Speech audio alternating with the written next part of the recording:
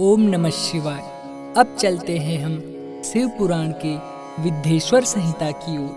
पहला अध्याय पाप नाशक साधनों के विषय में प्रश्न, जो आदि से लेकर अंत में है, नित्य मंगलमय है, जो आत्मा के स्वरूप को प्रकाशित करने वाला है, जिनके पाँच मुख हैं और जो खेल खेल में जगत की रचना, पालन और संहार तथा अनुग्रह एवं तिरोभाव रूप पाँच प्रबल कर्म करते हैं, उन सर्वश्रेष्ठ अजर अमर उमापति भगवान शंकर का मैं मन ही मन चिंतन करता हूँ। व्यास जी कहते हैं, धर्म का महान क्षेत्र, जहाँ गंगा यमुना का संगम है, उस पुण्य में प्रयाग, जो ब्रह्मलोक का मार्ग है, वहाँ एक बार महातेजस्वी, महाभाग, महात्मा मुनियों ने विशाल यज्ञ का आयोजन किया। उस ज्ञान यज्ञ का समाचार सुनकर पौराणिक शिरोमणि व्यास जी के शिष्य सूत जी वहाँ मुनियों के दर्शन के लिए आए। सूत जी का सभी मुनियों ने विधिवत स्वागत व सत्कार किया तथा उनकी स्तुति करते हुए हाथ जोड़कर उनसे कहा, हे सर्वज्ञ विद्वान रोमहर्षण जी, आप बड़े भाग्यशाली हैं। आपने स्वयं व्यास जी के मुख से पुराण की विद्या प्राप्त की है। आप आश्चर्य स्वरूप कथाओं का भंडार हैं। आप भूत, भविष्य और वर्तमान के ज्ञाता हैं। हमारा सौभाग्य है कि आपके दर्शन हुए। आपका यहाँ आना निरर्थक नहीं हो सकता। आप कल्याणकारी हैं, उत्तम बुद्धि वाले सूत जी।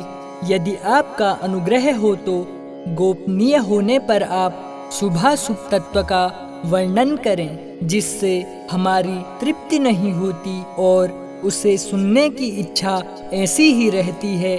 कृपा कर उस विषय का वर्णन करें। घोर कलयुग आने पर मनुष्य पुण्य कर्म से दूर होकर दुराचार में फंस जाएँगे, दूसरों की बुराई करेंगे, पराई स्त्रियों के प्रति आसक्त होंगे हिंसा करेंगे, मूर्ख, नास्तिक और पशुबुद्धि हो जाएँगे। सूत जी, कलयुग में वेद प्रतिपादन, वर्ण आश्रम व्यवस्था नष्ट हो जाएगी। प्रत्येक वर्ण और आश्रम में रहने वाले अपने अपने धर्मों के आचरण का परित्याग कर विपरीत आचरण करने में सुख प्राप्त करेंगे। इस सामाजिक वर्ण संकरता से लोगों का पतन हो जाएगा। परिवार टूट जाएँगे, समाज बिखर जाएगा। प्राकृतिक आपदाओं से जगह जगह लोगों की मृत्यु होगी।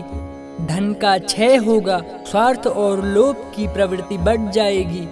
ब्राह्मण लोभी हो जाएँगे और वेद बेचकर धन प्राप्त करेंगे। मद से मोहित होकर दूसरों को ठगेंगे। पूजा पाठ नहीं करेंगे और ब्रह्म ज्ञान से शून्य हो जाएँगे क्षत्रिय अपने धर्म को त्याग कर कुसंगी, पापी और व्याभिचारी हो जाएँगे। शौर्य से रहित हो वे शूद्रों जैसा व्यवहार करेंगे और काम के अधीन हो जाएँगे। वैश्य धर्म से विमुख हो, संस्कार भ्रष्ट होकर कुमार्गी, धनोपार्जन परायण होकर नाप तोल में ध्यान लगाएँगे। शूद्र अपना धर्म कर्म छोड़कर अच्छी वेशभूषा में सुशोभित हो, व्यर्थ घूमेंगे। वे कुटिल और ईर्षालु होकर अपने धर्म के प्रतिकूल हो जाएँगे। कुकर्मी और विवाद करने वाले होंगे। वे स्वयं को कुलीन मानकर सभी धर्मों और वर्णों में विवाह करेंगे।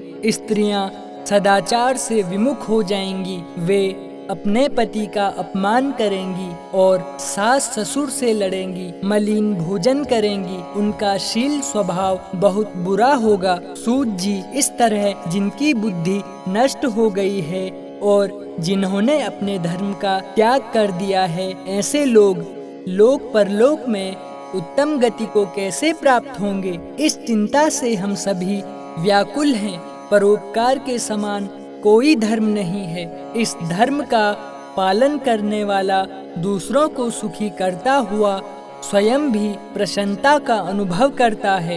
यह भावना यदि निष्काम हो तो कर्ता का हृदय शुद्ध करते हुए उसे परम गति प्रदान करती है। हे महामुने, आप समस्त सिद्धांतों के ज्ञाता हैं। कृपा कर कोई ऐसा उपाय बताइए जिससे इन सबके पापों का तत्काल नाश हो जाए। व्यास जी कहते हैं, उन श्रेष्ठ मुनियों की यह बात सुनकर सूत जी मन ही मन परम श्रेष्ठ भगवान शंकर का स्मरण करके उनसे इस प्रकार बोले